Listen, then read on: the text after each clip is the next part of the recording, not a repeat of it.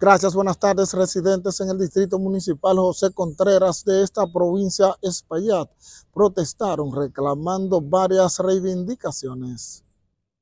Los comunitarios de esta zona montañosa de la provincia Espaillat expresaron el interés en que el gobierno le cumpla con sus promesas. Apoyando a nuestra comunidad, estamos aquí exigiendo al Ministerio de Educación la construcción de la Escuela Ulpiano Córdoba, ya que tiene mucho tiempo en licitación. No queremos licitaciones, queremos construcción, no queremos levantamiento, queremos ingenieros que vengan con materiales. Nuestros estudiantes no tienen dónde recrearse porque la cancha está ocupada por aulas móviles.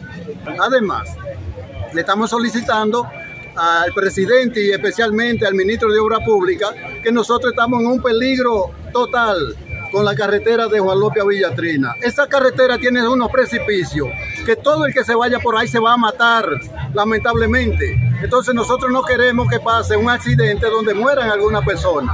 Nosotros no queremos que eso pase. Por eso le estamos solicitando al Ministerio de Deporte, especialmente a Francisco Camacho, para hacerle un llamado y a la vez de hacerle un llamado, pues darle un consejo es que lo, la persona que le asiste a él, en conjunto con los ingenieros que él tiene, pues no le están haciendo el trabajo.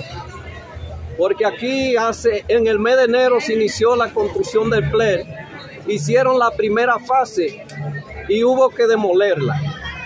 Es la información que manejo hasta el momento. Ahora regreso con ustedes. Buenas tardes.